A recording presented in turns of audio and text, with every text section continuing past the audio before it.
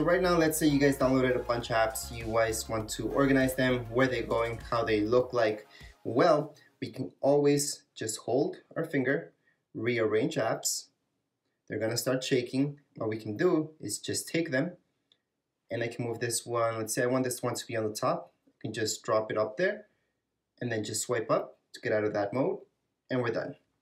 If I want to make folders, same thing. I can just hold this, rearrange apps, then I can just take this one, for example, iMovie, which is edit to edit videos, and I can go on top of this one right here. It's gonna create a folder. Up here, I can just title it anything I want. So let's say movies, anything really, done, click out, swipe up, and there's my folder.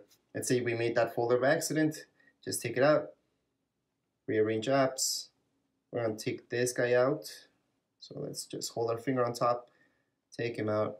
Now our folder still exists right there. However, we can get rid of it just by taking it, this one out from here.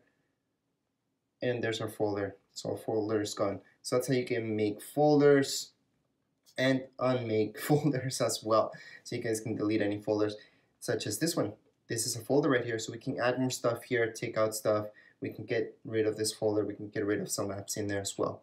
Anyways, that's it for this video. If you guys have any comments, questions, you guys can write them down here in comments area.